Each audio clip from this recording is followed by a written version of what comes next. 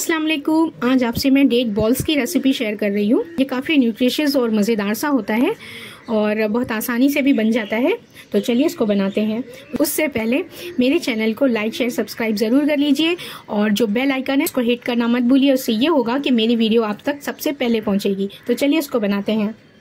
इसको बनाने के लिए मैंने 400 ग्राम खजूरें ली हैं और ये नर्म वाली खजूर है, जो काली और नर्म वाली खजूर आती है, ये वो है। तो इसकी बीज हम पहले निकाल देंगे। इस तरह से हम सारी बीजों को निकाल देंगे। खजूर की सारी बीजें निकल गई हैं और अब इसको हम साइड में रखते हैं। और ये मैंने 60 ग्राम मैरी बिस्किट्स लिए हैं। इसके भी हम छोटे छोटे टुकड़े कर लेंगे। तो इस तरह से आपको छोटे छोटे टुकड़े कर लेना है, बिल्कुल। ये देखिए, ये बिस्किट को मैंने इस तरह से क्रश कर लिया है। यहीं पे कुछ पाउडर तरह का दिख रहा है बिस्किट और कहीं छोटा है, कहीं बड़ा है, इसी तरह से हमको चाहिए। लेकिन मेक श्योर कर लीजिए कि बहुत ज़्यादा बड़ा ना हो। नहीं तो ये होगा कि बॉल बनाने टाइम हमको मुश्किल आ सकती है या बॉल में, बॉल सही ना बने। तो ये हो गया ये तैयार। अब इसको हम साइड में रखते हैं। यहाँ एक कढ़ाई को मैंने गरम कर लिया। अब इसमें डालेंगे 100 ग्राम बटर। इसको मीडियम फ्लेम पर पिघला लेंगे। फ्लेम को हाई अगर हमने रखा बटर पिघलाने के लिए तो ये होगा कि बटर जो है वो काला हो जाएगा, जल जाएगा। तो इसलिए ये ख्याल रखना है कि मीडियम फ्लेम पर ही हम इसको मेल्ट कर लें। तो ये देखिए, ये बटर जो है, ये मेल्ट हो चुका है। अब इसमें ये जो खजूरें हमने बीज निकाल के रखी थी, ये डाल देंगे और इसको अच्छी तरह से दबा दबा के हम मैश करते जाएँगे और साथ ही साथ भूनते भी जाएँगे।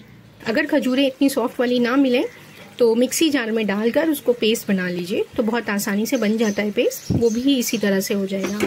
तो इस तरह से हमको देखिए मैश करते जाना है और साथ ही साथ भूनते भी जाना है।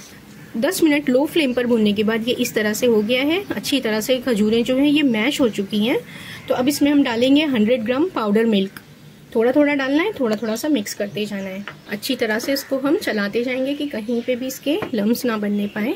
बाकी बचा हुआ हम डाल देंगे इसमें और इसको अच्छी तरह से मिक्स कर लेंगे और लो फ्लेम पर हम इसको अच्छी तरह से मिक्स कर लेंगे। 10 मिनट तक इसको मैंने लो फ्लेम पर भून लिया है अच्छी तरह से, ये देखिए, और जो दूध का पाउडर है वो अच्छी तरह से इसमें मिक्स भी हो चुका है। तो अब इसकी फ्लेम को मैं ऑफ़ कर रही हूँ और इसको हम थोड़ा सा ठंडा कर लेंगे। तो ये देखिए, खजूर का जो मिक्सचर है, ये ठंडा हो चुका है। थोड़ा सा ठंडा हुआ है, ज़्यादा ठंडा नहीं किया मैंने मतलब इतना है कि हम हाथ में इसको ले सकते हैं आसानी से। इसके बाद ये जो बिस्किट्स को हमने क्रश किया था, ये डाल देंगे इसके अंदर और इसको भी अच्छी तरह से मिक्स कर लेंगे। इसको मैं हाथों से ही कर लूँगी, क्योंकि ज़्यादा अच्छे तरीके से हो जाता है हाथ से। खजूर और बिस्किट जो है, ये अच्छी तरह से मिक्स हो चुका है। तो अब इसमें से लेमन के साइज़ का एक थोड़ा सा पोर्शन लेंगे और इसको बॉल बना लेंगे। तो ये देखिए, ये इस तरह से बॉल बन गया। बिल्कुल लेमन के साइज़ का अच्छा सा टाइट टाइट सा हमने बॉल बना लिया। तो ये सूखे नारियल के पाउडर में हम बॉल को अच्छी तरह से रोल कर लेंगे। तो ये देखिए, ये अच्छी तरह से इसके ऊपर नारियल का जो पाउडर है, वो लग गया बॉल पे हमारे। इसी तरीके से हम दूसरे बॉल को भी इसी तरह से नारियल का पाउडर लगा लेंगे। इस तरह से हम सारे बॉल्स में नारियल का जो पाउडर है, इसको कोट कर लेंगे। इस तरह से रोल कर करके, ये डेट बॉल बनके हमारे तैयार हैं। और ये कुछ बटर पेपर कप मेरे पास पड़े हुए थे। इसमें मैंने इसको रख लिया है सर्विंग के लिए अच्छा लगता है। आप भी इसको ज़रूर बनाइए। और कमेंट बॉक्स में मुझे बताइए कि आपको कैसा लगा।